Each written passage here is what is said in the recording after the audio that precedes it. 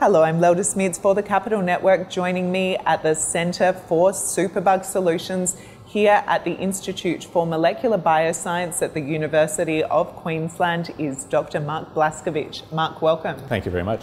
Mark, could you start by outlining the collaboration between the University of Queensland and Botanix Pharmaceuticals? So, this collaboration uh, is based on trying to develop a new antibiotic that Botanix has discovered. So it's fostered by an Innovation Connections grant from the Australian Government AusIndustry, um, which is designed to develop collaborations between industry and academia. Okay, and what's the significance of the grant from the perspective of the university and also your next steps? Right, so their, their significance is on a number of different levels, and one of the most important is it demonstrates the university and the Center for Superbug Solutions commitment towards developing translational results that have an impact in the real world by interacting with companies. So we're not just doing academic level research, we're working on things that can be applied to people uh, out in the real world.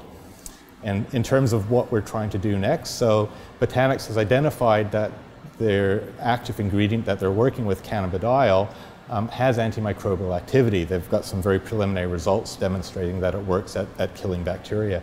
And so what we're doing is we're applying our expertise in, in looking at bacteria and developing antibiotics and trying to see the potential of this compound as a new topical antimicrobial treatment. Now, this kind of research, undoubtedly, whenever you're talking about innovation and new discovery, is exciting. What excites you most about what you're researching? So what we're, we're trying to do is, is develop new antibiotics. And the reason we need to be doing that is bacteria have become resistant to almost all of the current antibiotics that we use. Now, bacterial resistance is nothing new. It's been around ever since the first antibiotic was introduced in the 1940s. But what's happening now is bacteria are, are, developing more and more resistance against the current antibiotics, and we're no longer developing new antibiotics quickly enough to keep ahead of the bacterial resistance.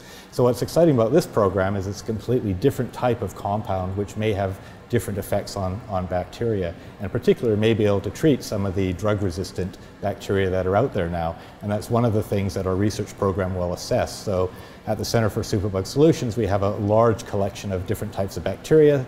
Um, a lot of them are clinical isolates that have resistance to varying levels against current antibiotics.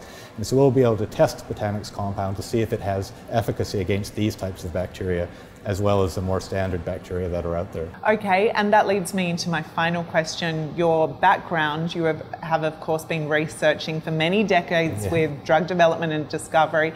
What is uh, the significance really for yourself in terms of this collaboration? So I've been working in trying to develop new antibiotics for about 10 years now, applying my expertise from, from previous projects just in general drug discovery. And antibiotics are different from many other drugs. There are a lot of different types of testing you have to do before you can uh, take it into clinical trials. And you have to show predominantly not only does it kill bacteria, but the bacteria don't really quickly become resistant to it because if that happens, then you know it becomes ineffective really quickly.